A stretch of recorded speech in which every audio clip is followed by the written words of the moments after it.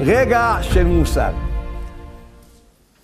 כל אדם מחפש עסקה לעשות כסף כל הזמן. שיהיה לו כסף. האדם רודף, הולך, מחפש, משקיע. יום אחד הגיע הרב להרצות לפני סוחרים שמשקיעים בכספים.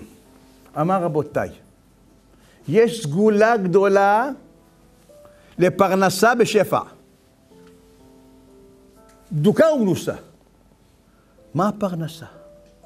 אמר להם כל בוקר, אתם שותים נס קפה, עוד פעם, שותים נס קפה, יהיה לכם סגולה לפרנסה. אמרו לו, מה פירוש? אמרו, תשמעו טוב, מה אני אגיד לכם? יש בהלכה, שולחן ערוך, בסימן כ"ה, סימן קפ"ה, שמה כתוב, אדם שאוכל, ואכלת ושבעת ובירכת, תברך.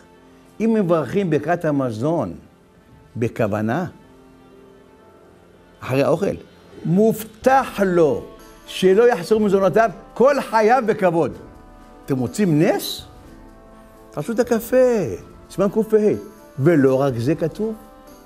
ואם מתוך סידור, ברכת המזון, תוך סידור, או, זה ברכה כפולה פי שתיים כל החיים.